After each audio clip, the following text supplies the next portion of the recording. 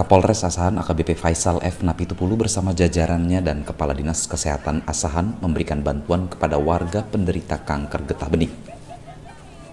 Kedatangan rombongan Kapolres dan Kepala Dinas Kesehatan dengan menggunakan sepeda motor disambut keluarga dan warga sekitar.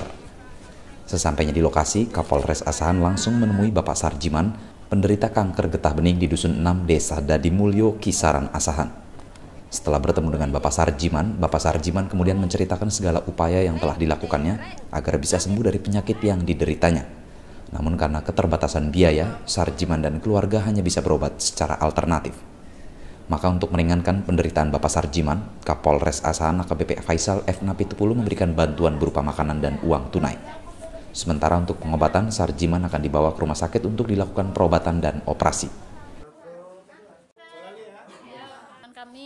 Ramayani, anak dari Bapak Sarjiman, mengucapkan terima kasih kepada Kapolres Asahan dan Dinas Kesehatan atas bantuan yang diberikan kepada keluarganya.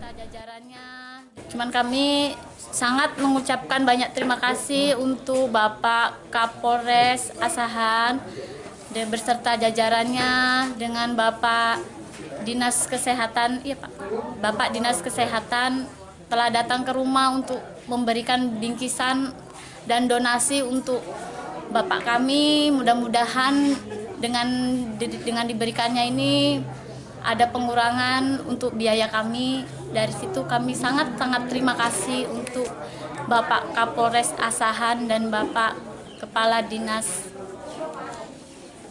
Kesehatan. Kami mendapat informasi diberitahukan dari Babin Kamtipmas Polsek bahwa ada seorang warga itu menderita penyakit uh, tumor atau kanker. Lalu saya langsung berkoordinasi dengan Pak Kadis Kesehatan dan saat ini kami langsung menuju uh, rumah warga yang menderita penyakit tersebut. Tadi sudah kita berbicara dengan uh, pasien maupun dengan keluarganya supaya mau dibawa ke rumah sakit karena sekarang ini sudah ada BPJS jadi tidak perlu dikhawatirkan lagi untuk uh, biaya pengobatan semua pemerintah menanggung. Dari Sumatera Utara Agus Salim, Tribrata TV, salam Tribrata.